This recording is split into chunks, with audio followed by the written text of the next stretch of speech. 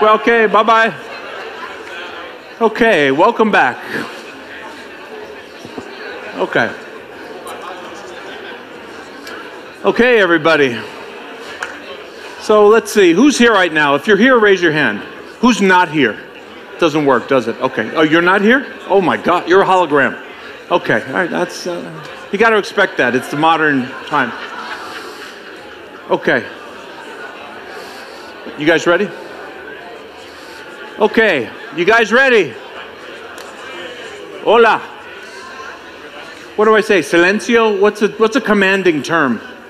Shut up! Shut up. No, I can't say that. I said it in a bad Spanish accent. Shut up. What? Cállate. I actually know that. There's a, there's a woman on TikTok that says, Cállate. Cállate. Does that mean uh, shut up?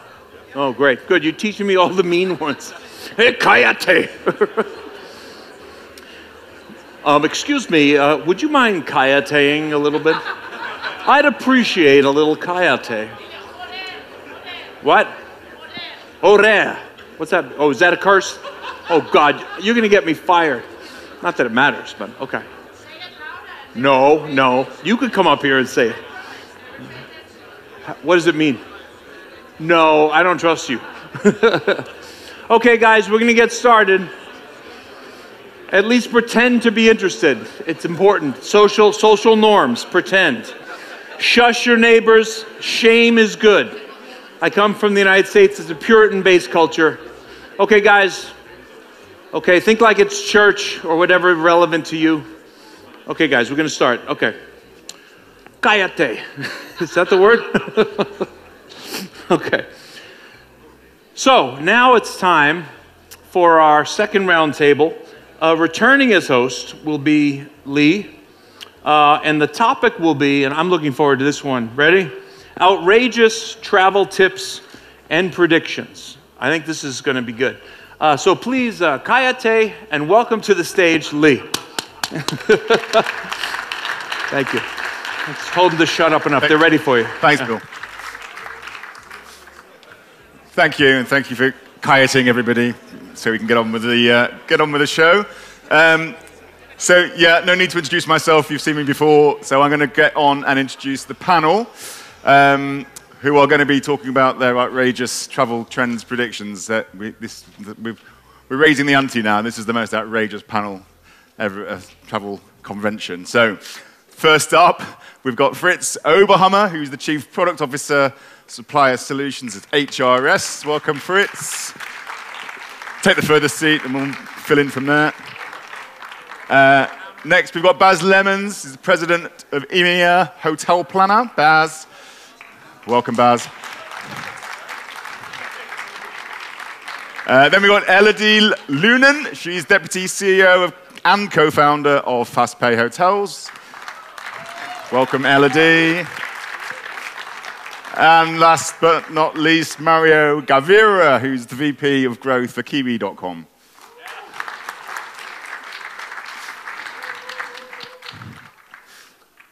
Ah, right. So, actually, we did, we, did, we did prepare for this, didn't we? So, I've got some predictions. That's why I've got this. Their predictions are on my screen. I didn't get a chance to print them out. So, that's just remind me what they were talking about. We've got a few we've pre predicted, and now we're going to discuss it. So, I'm going to go to whoever predicted their prediction. They're going to tell you what the prediction is, and then the other guys can wade in and tell them if they're crazy or maybe they're not being outrageous enough. We should, you know. Um, okay, let's start. There, there was actually there was, a, there was a couple interesting ones around super apps. We'll go with Mario. Mario, you have got a prediction about Google Maps. Go. Google Maps. Go. Okay. Yes. Uh, hi, everybody. So Google Maps, everybody obviously has it on his phone. It's by far the most downloaded app in the travel category in the Western world. And uh, it's not a navigation map anymore.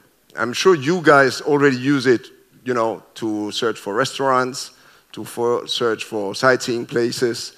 So they actually, in very typical Google style, have been these last 10 years adding features to, to the navigation map to make it actually much more stickier and much more engaging, um, which uh, means that now I don't know how many of you guys still use a travel guide when you go to a destination, but probably you use Google Maps already to, to actually get around when you come to a, to a new place. Now, the interesting piece is that obviously you all know that Google has the biggest meta search business in hotels already, that that is nicely embedded into Google Maps. But the fun part is when these guys are starting to integrate the digital wallet.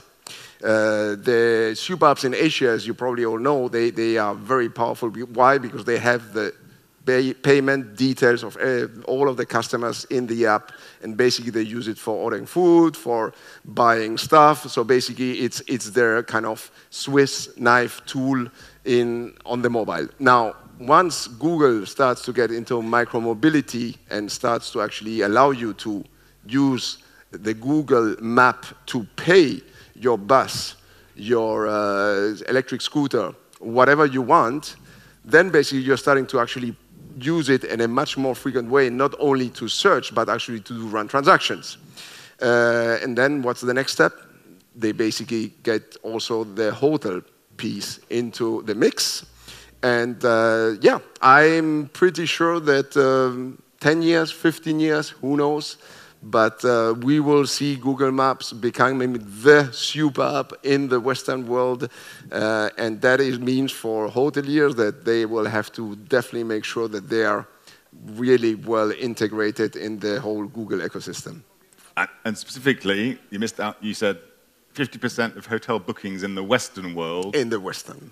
It, by 2040, yes, will be on Google Maps, right? Outrageous, yes, 50%. That's my bet. Great. Okay. Yeah, yeah. um, so actually, super apps is interesting because clearly massive in China, mm. not really taken off in the West. Ella, do you think?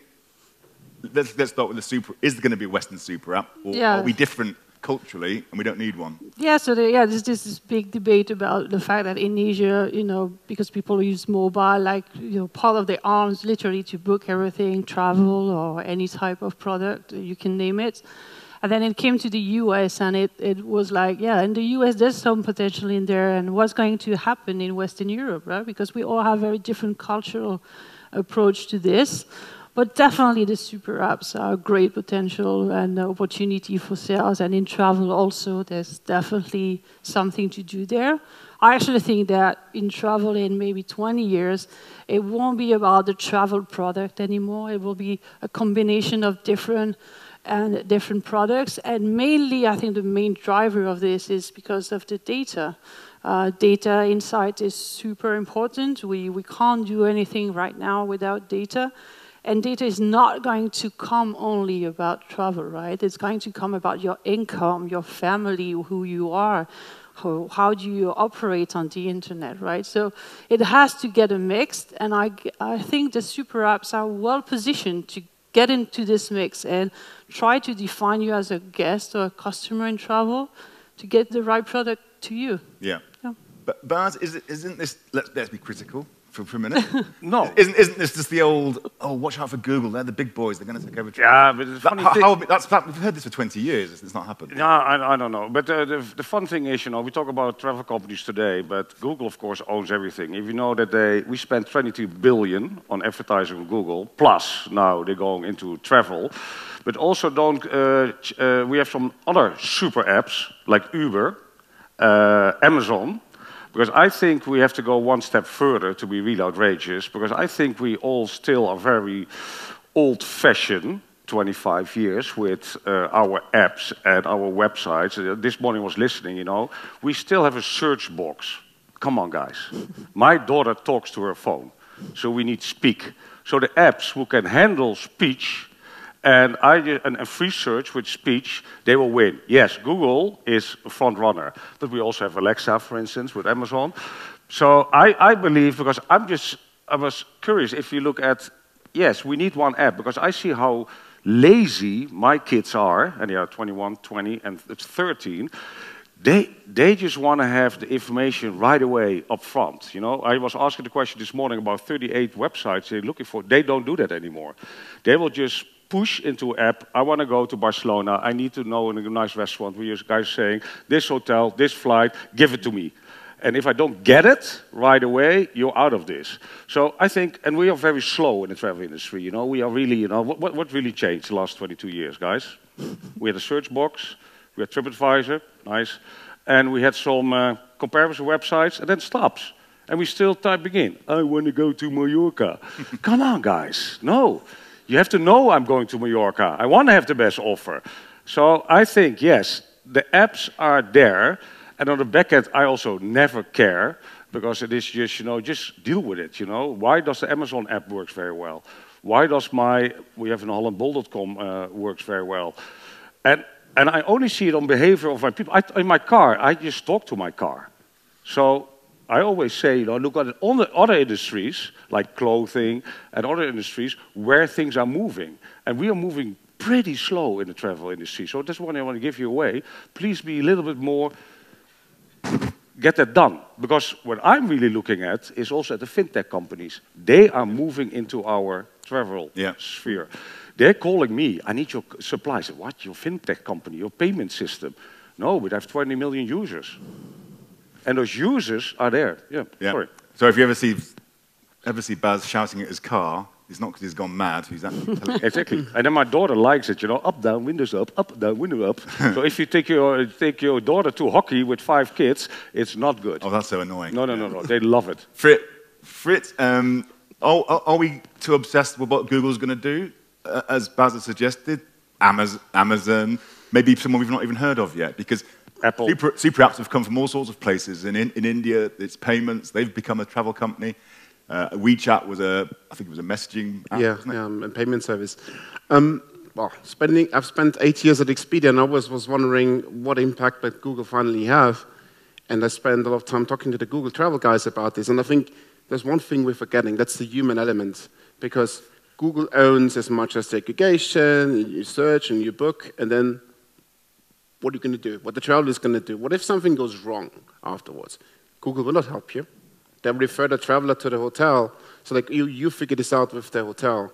And I think this is the reason why Google has been not, not become so dominant, and maybe a reason why Booking and Expedia still exist. Somebody needs to be an advocate for the traveler in front of the hotel if something goes wrong, because things do go wrong in travel, or there is some kind of special requests that need to be facilitated, or somebody needs to stand up to the hotel, so like, no, don't charge that traveler that money, and Google doesn't do that. So for me, it was always the point like, okay, transactionally, that's great, but this is also why they never, I think, build up their own product, because you know what? It takes a lot of effort and a lot of staff to run those programs and to be an advocate to the hotel. Okay. Let's move on. I want to try and get through as many as possible in the amount of time we've got. Uh, Elodie, let's move to one of yours about travel pricing. Okay. Uh, yes. Uh, so uh, yes. So I I I have this uh, outrageous travel trend uh, thinking about how pri uh, pricing travel is going to evolve in the next two decades, right? And I think it's a bit like what we were talking before, and I think the digital DNA will be mostly the most important factor when when pricing will be driving and and and definitely for the past 20 years, we've seen a lot of pricing according to customer segments. I think there was some mentioning before about, you know, the hotels, for example, are putting so much effort in, in getting the right segment of customers. And uh, we all know there's a distribution that's different according to your nationality or what the type of market, what your, what's your buying intention. But I think, you know, as, as we go and, and we gather all this data and, and we get organized, I think the digital DNA that you have will drive those prices. You know, you, according to all this data around you, what, what is your habits as a yeah. consumer? So, this is so, yeah. ultimate in variable pricing. Uh, yes. Well, not really a price for anything, just what you're prepared to pay for it at that moment in time. Yeah, and it will be very much personalized. You know, yeah. we, we were talking also before about personalization. Now, I think, you know, those chunks of pricing that we see that uh, for me are totally obsolete nowadays, right? Uh, we, we can't drive the customers by if they're B2C, B2B, if they're leisure and business. With all the lines are being blurred right now. And I think that, yes, I think uh, pricing will have to get to the next level and maybe a lot more personalized. So another way of saying I disagree. It's the end of meta search entirely because you can't. Yeah. No, but I disagree. Uh, prices that don't exist. no, the thing is, uh, look at other industries. Look at Apple. The MacBook the iPhone, everything costs the same for everybody.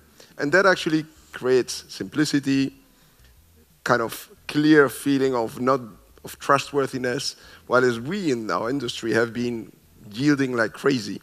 Uh, hotels, airlines, you name it. And everybody feels they have been kind of ripped off, right? So uh, the more you go into this personalization pri of pricing, the more you're creating confusion, the more you're creating lack of trust.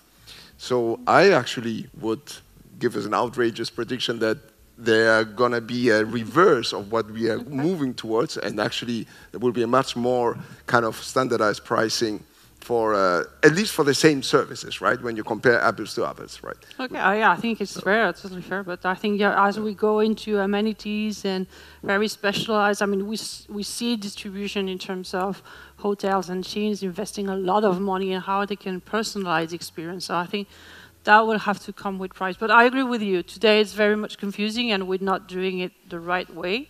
I think probably other industries will go there before us, and. Uh, we'll have to see how that goes. Mm, mm, mm, no. Fritz, got views on? No, I, I think um, what I see, and that's probably a business travel point of view, is we're going to move way more into attribute-based pricing. And I see some people like, oh, attribute pricing, here we go again. But think of the following fact that the travel product that's sold today is a monolithic block. It's one rate with the breakfast included, not a negotiated or a, a different kind of thing. But the world we live in today, if you fly, you pay for your seat, your leg room, I don't know, the toilet maybe soon. You pay for anything. But the hotels don't do this. They don't see their rooms as a piece of, it's a thing with attributes, and those attributes can be sold. So you can sell a room, and the attribute to it is a rate plan with a breakfast included, but it might also be a bottle of craft whiskey in the, in the room as well. Now, from a business traveler point of view, why this is so important is Today we go out there and negotiate. Siemens comes in and says, like, negotiate 100,000 room nights for us. And that's the budget, and that's what we're going to do. So we, then we go into the year, we have a recession right now, and Siemens says, like, oh, now we have to cut it down to 80,000 room nights. We're like, okay, so we have to cut it down. So in the future, though, we'd say, okay, so there's 100,000 room nights. Let's do the following. Let's do 20,000 with an attribute of a breakfast attached. Let's do 20,000 with an attribute of a late checkout. 1 to 2 p.m., another 20,000 for late checkout to 4 p.m. So we come back to the same scenario, and Siemens says like, oh, our budget has gone down. It's like, no problem. We'll just cancel out the breakfast attribute from those 20,000 rooms, and we can still hold the rooms for you, for your travelers, stay with your budget. Go back to the hotel, tell them, well, we're sorry, we're going to have to cancel the breakfast for those room nights, this attribute you've added on, but guess what? You're not going to lose the sale the best the travel is still to come. So I think this attribute-based model will be the future of the travel industry. Because mm. let's face it, the rooms, room types, is a concept of my grandfather. He's a hotelier. Yeah. So we had a standard room, an executive room. What does this even mean? We should have, have attributes of a size, a view. We should have quiet rooms, bigger rooms, and we should make that sellable, and that should be sellable. Yeah. Yes. Well, there, there has been moves to try and sell hotel rooms by the number, by the, like on a cruise ship. You can choose your, your cabin. I mean, they're all fairly standard yeah. on a cruise ship, but actually in a hotel they're no, the Viking, Viking uh, I, I, was last week with Viking Cruises. They, uh, you know what I love about their model, about websites, really? I can do exactly, I go on a cruise, but I can put whatever I want to put in my minibar, you know, and a swimming pool access. So I think exactly what you're saying. You know, we got, we're going to be Ryanair, very easy. If you don't follow that up, you know, uh, it will be dynamic pricing. Uh, so EasyJet and Ryanair, they showed us how you can do very good yielding per airplane. And I think the hotels have to follow that model. You know, even KLM and other companies are still lacking behind, but it works. You know, the most profitable, uh, airline company is Ryanair. So come on, guys, don't uh, think again. But the hotels are used to kind of revenue model from, uh, you know, I started when I started with booking, I started, you know, 50% discount. It's bullshit, but people believe it. Um, uh, I took out breakfast because I was cheaper than Expedia. So uh, that are all tricks. But eventually, I think you, you, you have to get the same as an airline. And exactly what you're saying, you know, in the States, I get berserk about executive room, uh, corporate room, uh, partly sea view. I hate that, you know? You get partly sea view. You have to look at this and then it's your sea view. Come on, guys.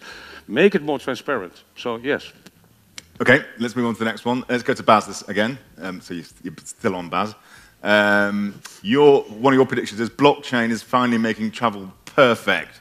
Yeah. Well, define perfect. Yeah.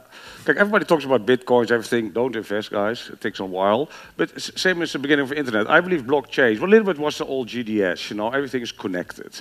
So I believe that if I am in the chain on what we talked about this morning, also about the flights, the car, um, and uh, hotel booking, and you cancel everything at once, you can do that in a blockchain because it's a contract with all the parties.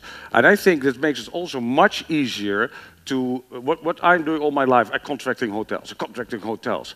But if they are in the blockchain, uh, I can have access to it. So, but also for the consumer, it's very transparent and very easy to change. So I think, yes, we will go that way.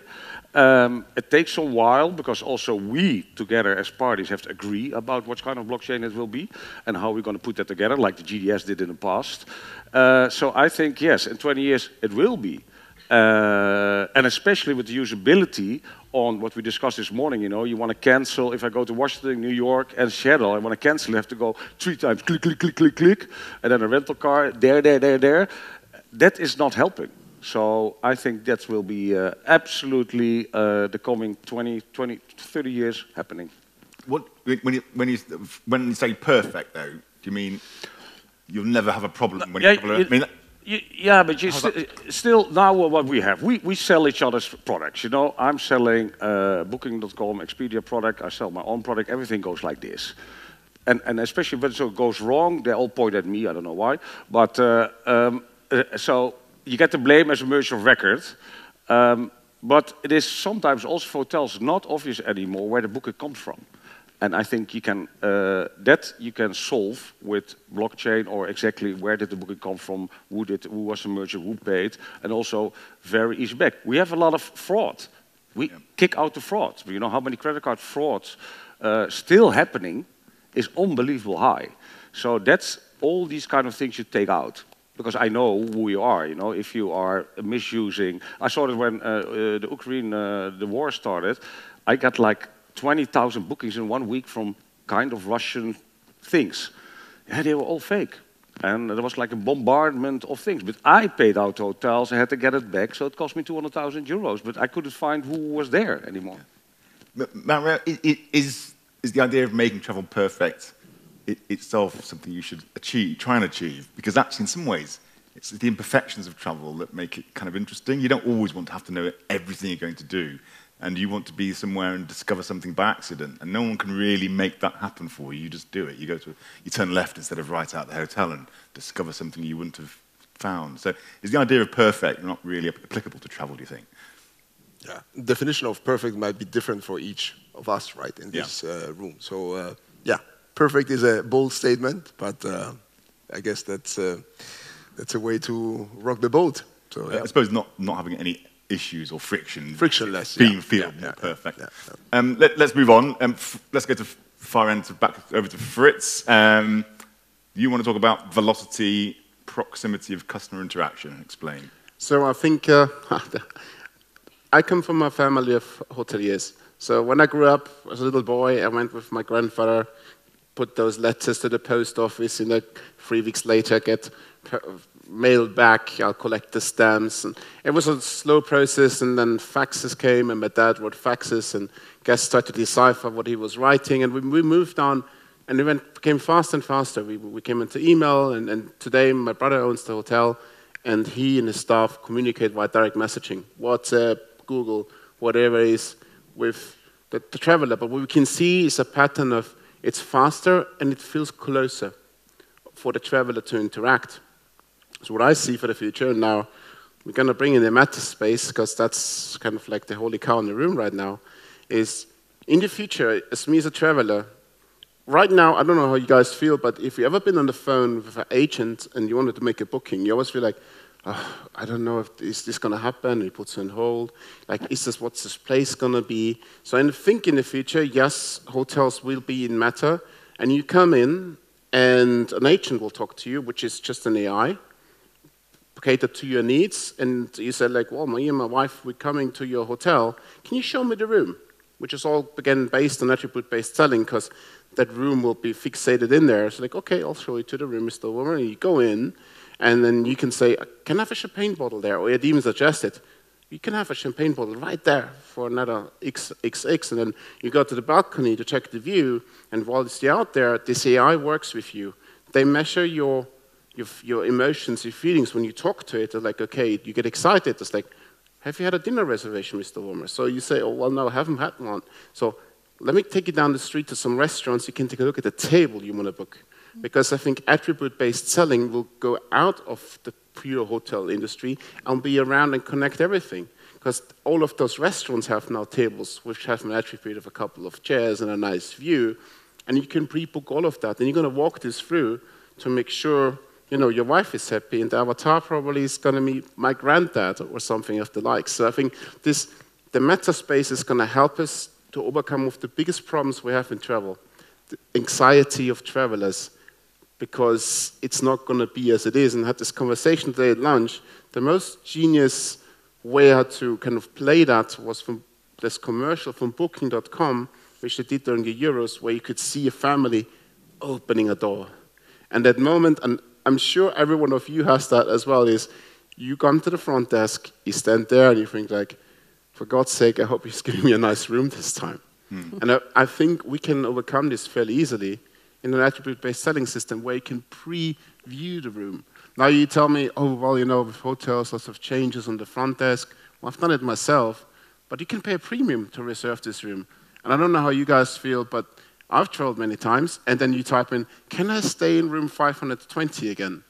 And how often do you stay in that same room? Yeah. But it's such a low-hanging fruit that we should build this technology, preview it, come there, and the experience will be just a much easier one than the current one is like, oh, well, I hope the wife likes the room. And you have kind of picked a nice restaurant on TripAdvisor. I'm not sure how it's going to work out.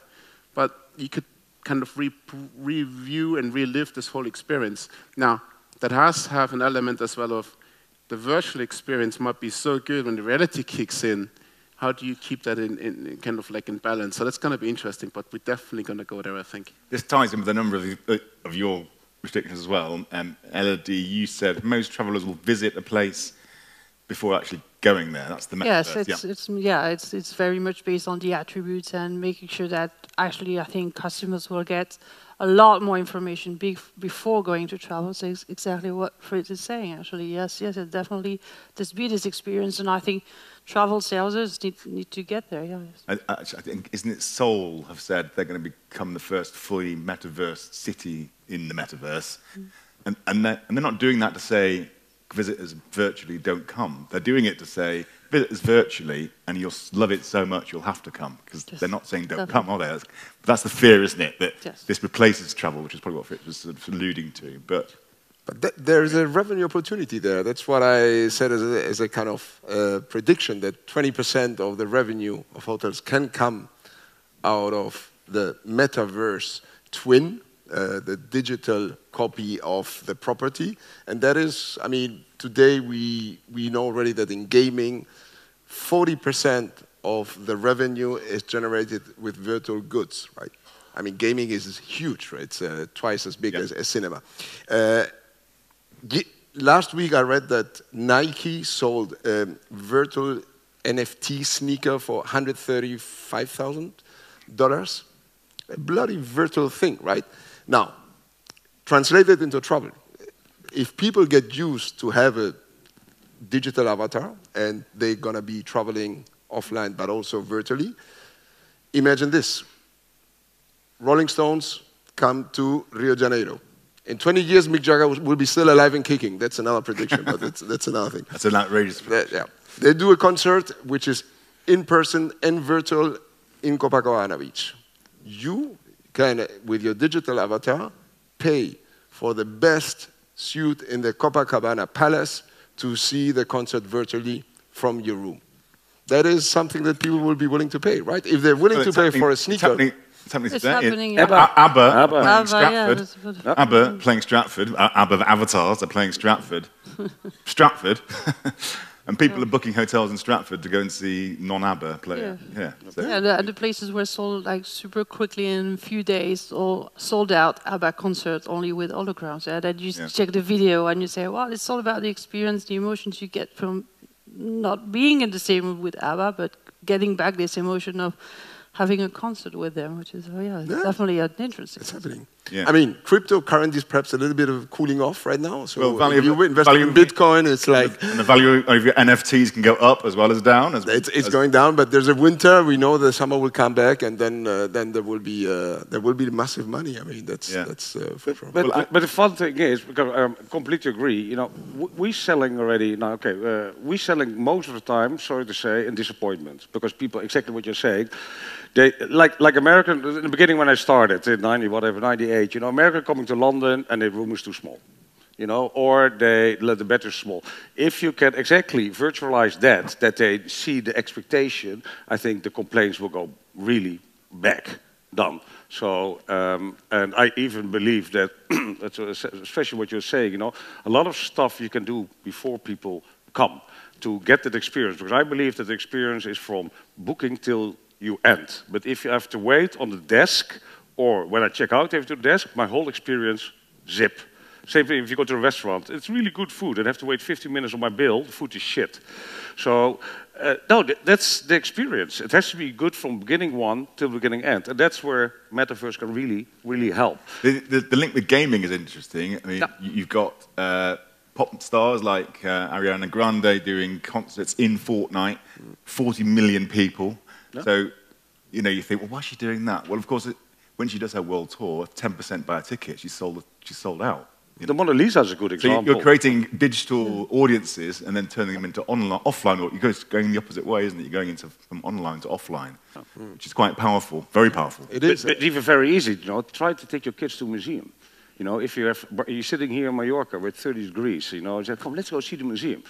But if you can uh, do that uh, digital, okay, you have, they give you some cultures, and then you go to the beach again. So I think it's all good for us in the future. I met my and mon- mon- money's pouring in. I mean, uh, I just read that Gucci has good in Roblox, right? Roblox is supposed to be the gaming Roblox. Yeah, yeah. virtual Yeah. platform from kids, right? Fucking Gucci, which is like probably not what your kids you would expect your kids They're to not be interested Gucci in. handbags, are they? You know? They, they had 20 million visits to their virtual uh, Gucci garden in, in Roblox, which is like, why the heck would so? There, there, there is something in there. I mean, people are, companies are investing into it, and hotels as such, if you think about it, I mean, it's all about the experience, right? So if it's physical or virtual, as long as it's immersive, Yeah. it's, it's, it's a perfect target for, for, for the metaverse. Yeah, and I think it's going to be very interesting how to see how the new generation is coming out of this because I mean, my my daughter is nine years old and she's taking Roblox lessons nowadays. She's very used to be in this environment, totally fake, um, and she has created her own world, right? And uh, she invites friends to come to this world, and it feels so natural for her. And uh, when I'm sitting next to her, I'm like, well. well I wasn't doing that definitely. Um, you know about this metaverse and how, how we approach it, how we see with you know with our eyes, but in their eyes, it's a totally different story. Yeah. It's better than sit 27 hours on uh, TikTok. That's what my daughter is doing. You know, it's TikTok, TikTok, TikTok all day. yeah. So- My, my, my kids are more Minecraft than Roblox. Oh, but- Minecraft. I remember a few years back, uh, they discovered someone had built a, a cruise ship in Minecraft. It had millions of views. And actually, I, I remember this and thought, I'll Google trying to find it. There's now loads of cruise ships on Minecraft because obviously it became a thing. So if you Google my cruise ships in Minecraft, and you just think, to get a younger generation into cruising, it's so powerful for one of the brands to go, well, it's a virtual version of our, our cruise ship. When, you wanna, when you're ready to come on a cruise, choose this one. You know, that's Oh. incredible, the power of getting the kids involved early and saying, pass the power upwards to the parents. You know, can we go on that cruise? Definitely, yeah.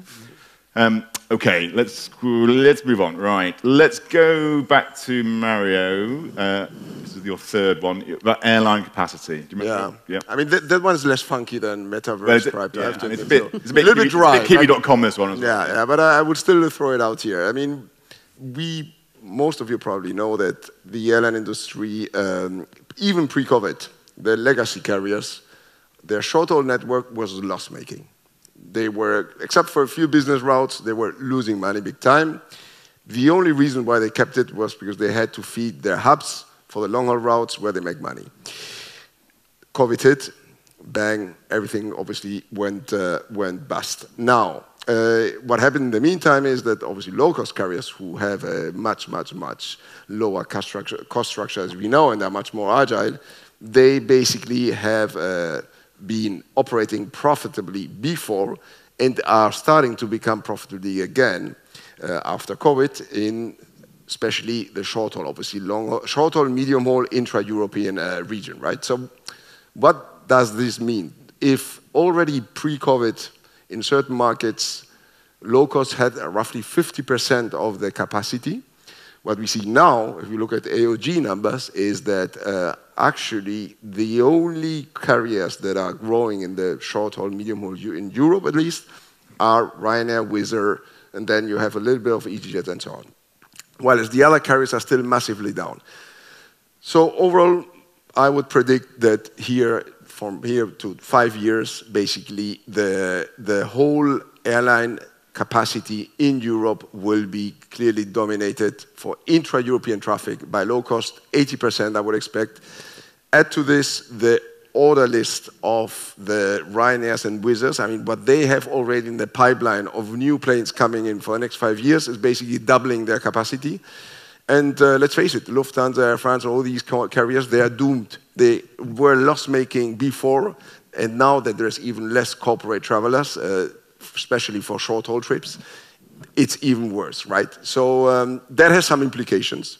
That means that people who actually want to travel long haul will have some more painful experiences because they, except if you live in Paris, London, uh, Madrid, you might have some problems to actually get to the to the hub to, to take your long haul flight, which uh, which implies uh, yeah which implies certain certain frictions and pain points for the travelers. Obviously, technology is there to help.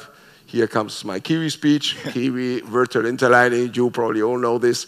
We believe that this is the future and that this is going to be even more important because precisely the interlining the traditional regional uh, legacy carriers will stop cooperating among them. So you basically will need a technology layer on top of, which basically do the whole frictionless connection between low cost, uh, fast, speed, fast um, speed train and the long haul route for flying out of the Paris or London hub.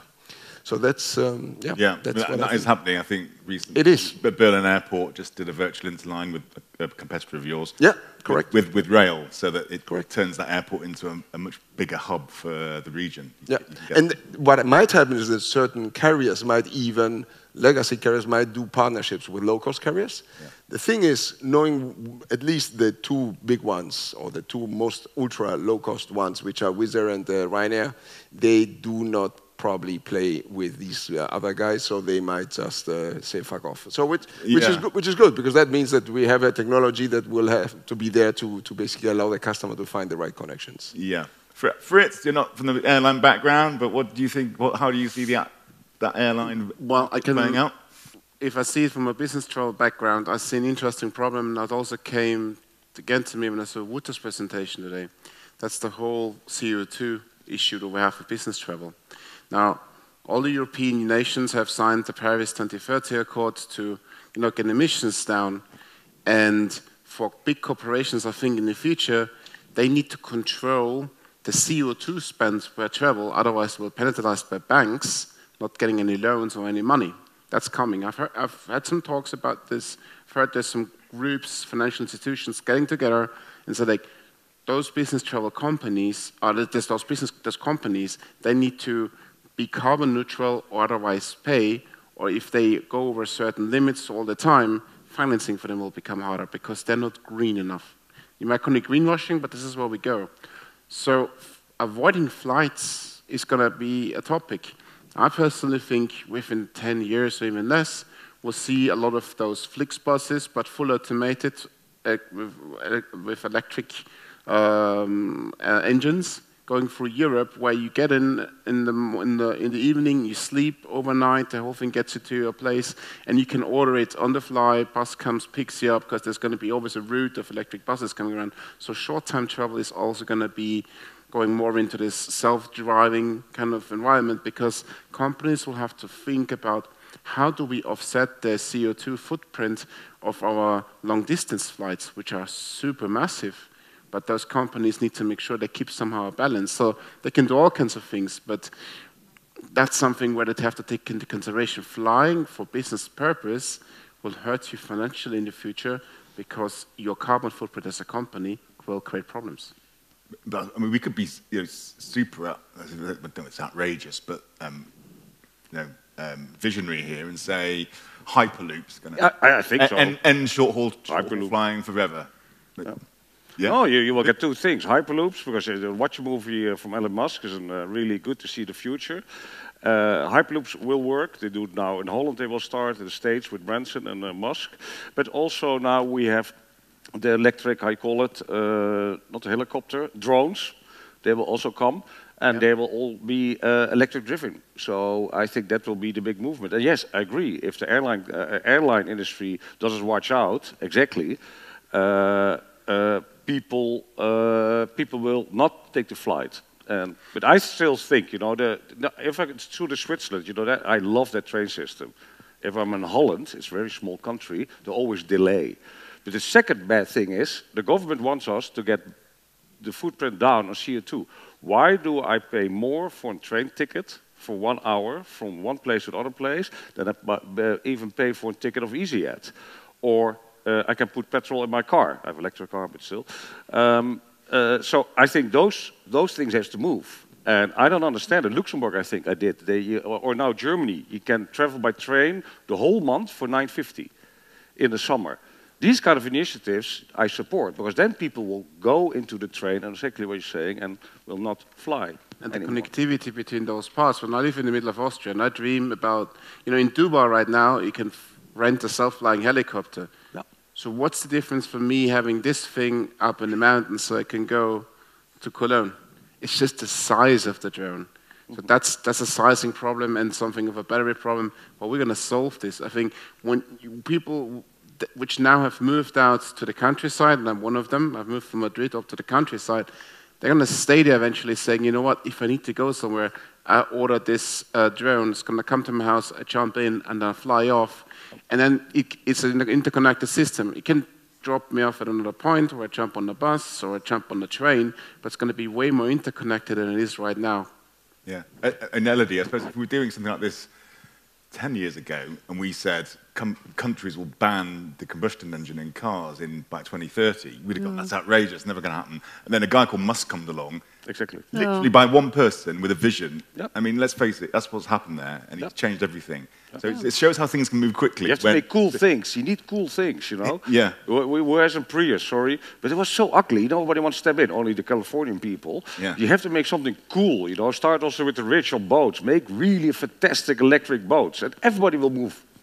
So that, that's the only trick. You have to make something nice, you know. People like nice Desirable. things. Oh yeah, and you you need to make it available also because um, yeah, there was this this is there's clearly this is intention to go into sustainability, but how do you go there if it costs you a lot more than what your income can afford? Or how is it the infrastructure? So you take the example of Mallorca, which is a is a s- is a nice island where we should all be able to go with electric cars everywhere because we're not that dependent on, you know, uh, a long battery or whatsoever. But when you do realize that you need to plug your electric cars somewhere here, it's it's getting difficult because they're not ready yet, and you you- you still need to.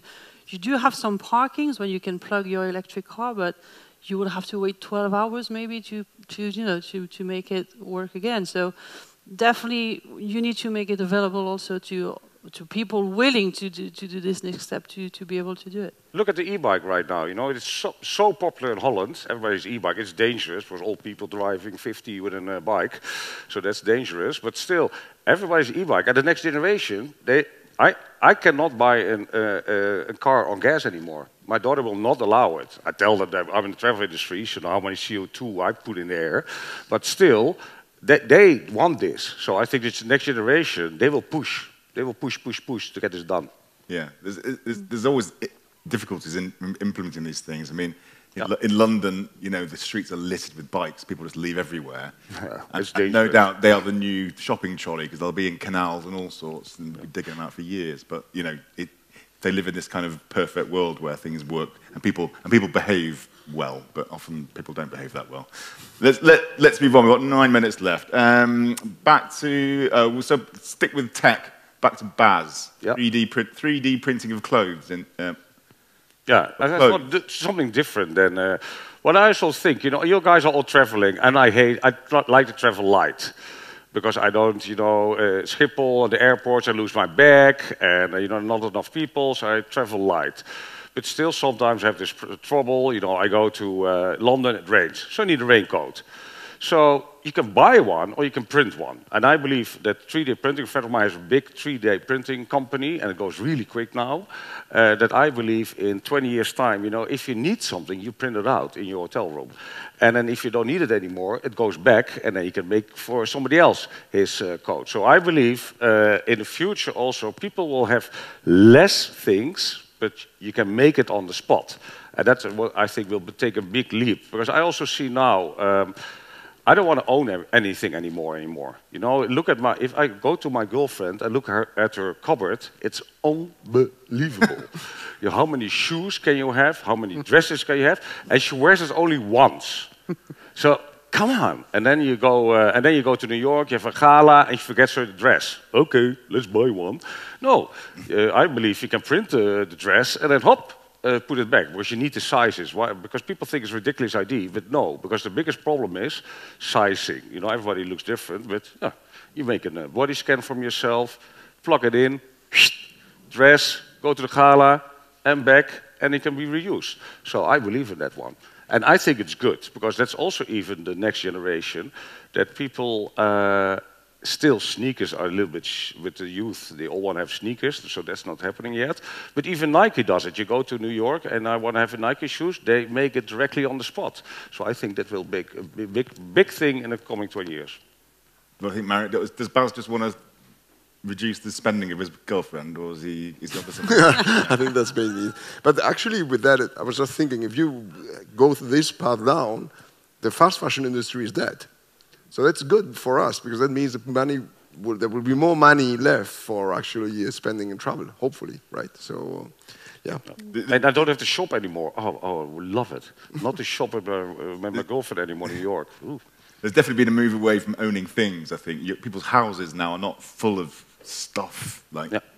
you know, I think about antiques. My mum used to collect antiques. Who, who invests in antiques just to stick on a, a windowsill and? That's If my mom dies, you know, I'm busy for five weeks uh, getting all this stuff out. She, "Oh, all for you. No, it's ugly. um, Elodie, let's go to one of yours about China. This might raise some eyebrows. Okay. China, do you remember? Uh, yes. Become the biggest destination.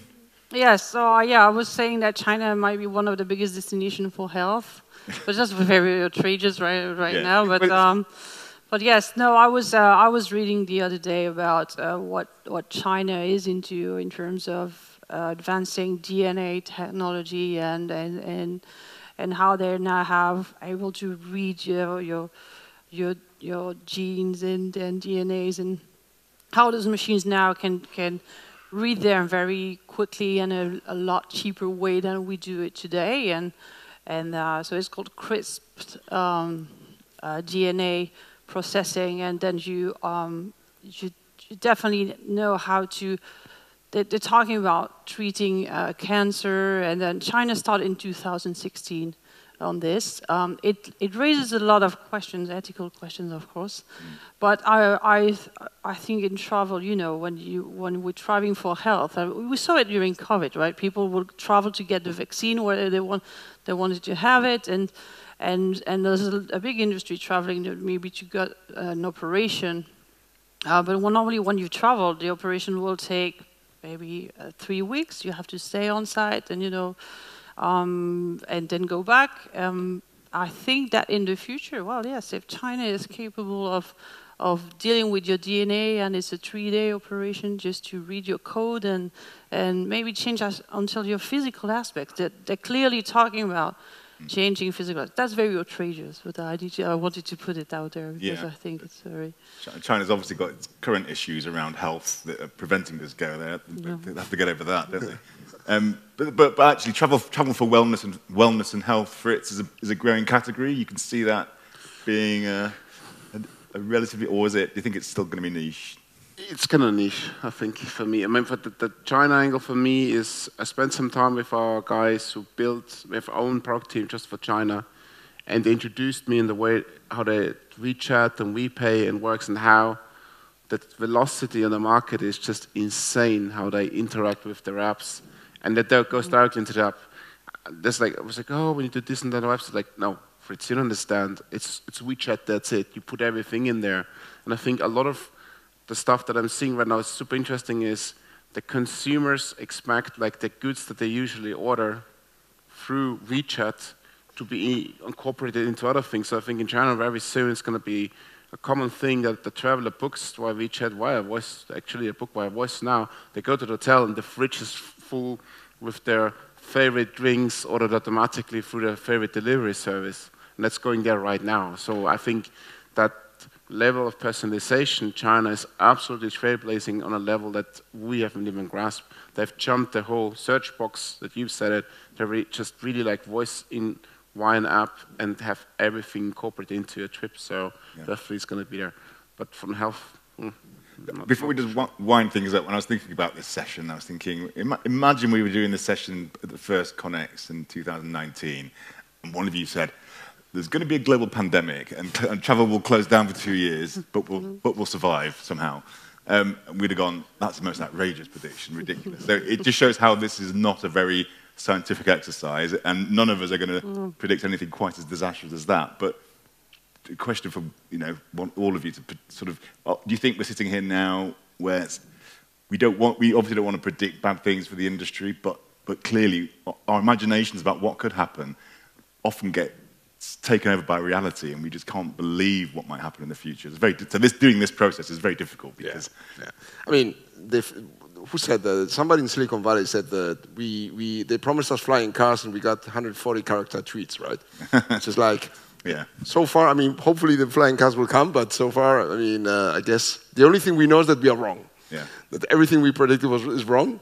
But uh, in some form or shape, some of this stuff, some underlying trends, will uh, crystallize in something which, which uh, yeah, we don't have the crystal ball, so uh, we will have to live it. And uh, again, hopefully not in such a dramatic way than uh, in, you know, a COVID outbreak or something like I, this. I think the thing with technology, often said, is that people overestimate what it can do in the short term and underestimate what it can do in the, in the long term, and that's often where we are, isn't it, Elodie? Yeah, and I think there's nothing there's nothing wrong at being wrong, right? Indeed, as long as you're creative and you're thinking, and everything you read is valid, and everything you know, as long as you think about things and and and try to project you in the future, I think everything is valid. There's, there's no wrong answers into uh, how do you define the the travel trends and. Uh, I think the important thing is that you, you definitely think about it and, and try to adapt and get some opportunities on the way. But yes, so it just needs to be creative. And it's fun. Yeah. And it's I mean, yes, honestly, when you have the outrageous label, you know, the disclaimer is everything can be wrong, right? yeah. So, but Bas, do you think we, have been outrageous enough? Or no, no, no. I, th I think I will give you one uh, takeaway. What I saw yesterday, I believe that, you know, guys, you are in the matrix everything you're getting played for. And people say that's strong. Uh, Elon Musk also said it. He said, guys, it's so strange what's happening. Uh, you know, we exist 200 years, they say, they tell us. Uh, but everything happened the last couple of hundred years. And then every time somebody pops up, like Elon Musk or Lincoln in the US, so I think somebody is there playing us with puppets. so uh, it could be an alien or whatever, you know, I don't know. But uh, I'm getting more expect because the world is really getting sometimes crazy. See, there is war again, and you know, so uh, even what happens in the states. I think somebody is just playing a game with us. Yeah. So we are not really here. I'm not here. it's all over. I'm Fritz, not here. Fritz, Fritz, are you a hologram? Are you really there? no, I'm are, you a, are you an alien lizard? I'm here in the flesh. Um, I don't know how, what you can predict about the future, but one thing is pretty certain is some hard truths. And one of the hard truths is going to be 30% of business travel will never come back.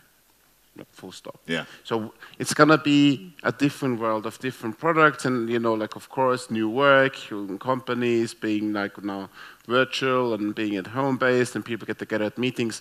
But I think we had this amazing buzz between say 2013 to 2017, where we were in the parties I have pictures with Pedro, a Triata party in Berlin, which are absolutely fa fabulous, and we had a really good blast, but it was too much. It was overdrawn, and we all stopped, and we really thought what travel could be. And maybe that's not a bad thing to say. Let's put a bit more quality into travel again and just hire more, more, more, more. Yeah. Great. Well, look, time has just beaten us, and um, that's it, I'm afraid. I mean, I think it's often said it's a mugs game making predictions. So please welcome our, thank our four mugs. thank you to Mario. Thank you to Elodie. Thanks. Thanks to Bas. Thanks, Thanks to Fritz.